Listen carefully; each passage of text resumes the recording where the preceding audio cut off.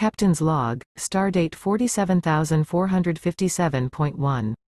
An unusual anomaly has swept through the USS Enterprise, leaving us in a state of unprecedented change. I stand before the mirror in my quarters, hardly recognizing the person staring back at me. My once familiar features are now distinctly feminine, softened and altered in a way that defies explanation. Around me, the entire male crew has undergone a similar transformation. We are all women now, our identities altered but our minds intact. I adjust the collar of my uniform, now tailored to fit my new form. The change is not just physical. There's a perceptible shift in the atmosphere aboard the Enterprise. Tension seem eased, there's a sense of harmony and understanding that wasn't there before.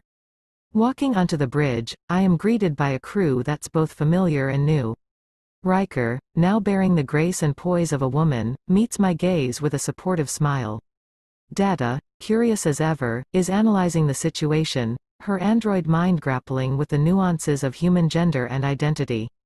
Worf, now a formidable Klingon woman, seems the most uncomfortable with this change. Yet, even she can't deny the sense of peace that has settled over us. As Mrs. Picard, I feel a responsibility to maintain the integrity of my crew. We convene a meeting, discussing our situation.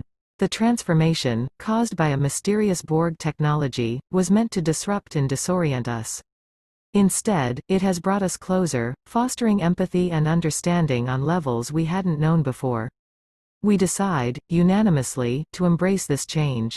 Our mission in the universe remains the same, but we are different now, united not just by our Starfleet oaths, but by this shared experience.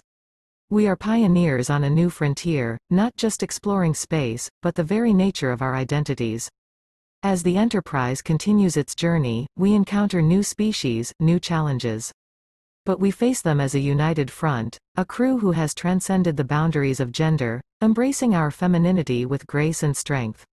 In every star we pass, in every world we explore, we carry with us the message of peace and unity, a testament to our resilience and adaptability. We are the USS Enterprise, boldly going where no one has gone before, not just in space, but in what it means to be human. Captain's Log, Supplemental. We are more than the sum of our parts. We are Starfleet. We are explorers. And now, we are a beacon of hope, a symbol of the beauty and change and the strength in diversity.